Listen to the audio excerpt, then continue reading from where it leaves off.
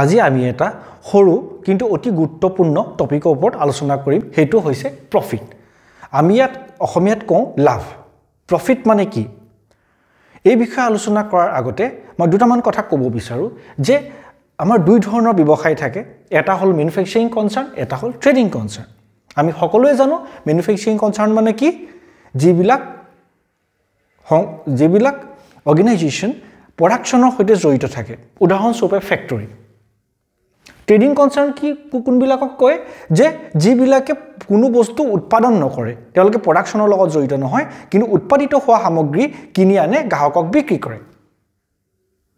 চ' আমি এটা কথা ক'ব পাৰোঁ যে আজি মেনুফেকচাৰিং কনচাৰ্ণে যেতিয়া প্ৰডাকশ্যন কৰে বা ট্ৰেডিং কনচাৰ্ণ এটাই যেতিয়া বস্তু ক্ৰয় কৰে তেতিয়া আমাৰ খৰচ হয়।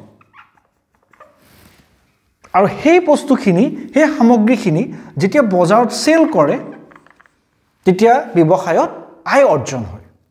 চ' ইয়াৰ পৰা আমি এটা কথা বুজিলোঁ যে চেলছৰ পৰা ইনকাম জেনেৰেট হয়।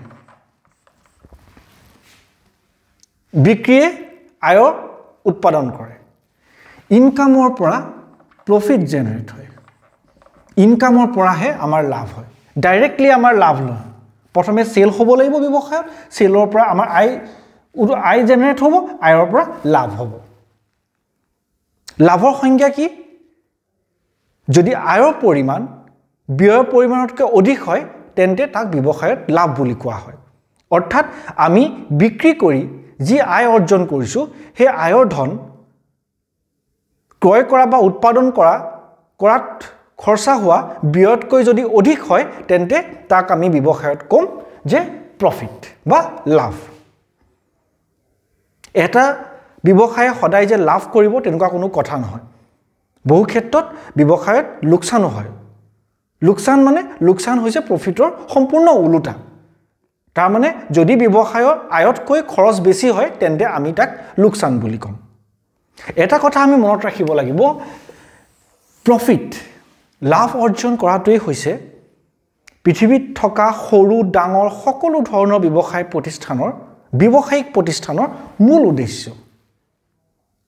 ব্যৱসায় প্ৰতিষ্ঠানবিলাকৰ প্ৰতিটো খোজ প্ৰতিটো কাৰ্যকলাপ প্ৰফিট অৰ্জন কৰাৰ দিশে আগুৱাই যায়। চ' প্ৰফিট সম্পূৰ্ণ নিৰ্ভৰ কৰে ব্যৱসায় চেলছৰ ওপৰত। যদি চেলৰ পৰিমাণ বেছি হয় প্ৰফিট বেছি হ'ব। যদি চেল কম হয় প্ৰফিট কম হ'ব। যদি চেল নহয় প্ৰফিট নহয়। প্ৰফিট যেতিয়া অৰ্জন কৰা হয় ব্যৱসায়ত সেই প্ৰফিটৰ প্ৰফিট অৰ্জন কৰাৰ পাছত কি হয়? প্ৰফিট হ'ল এক প্ৰকাৰৰ দেনা বা লাইবিলিটি লাভ অৰ্জন হোৱাৰ পাছত সেই লাভক গৰাকীসকলৰ মাজত বিতৰণ কৰি দিয়া হয়। কিয়?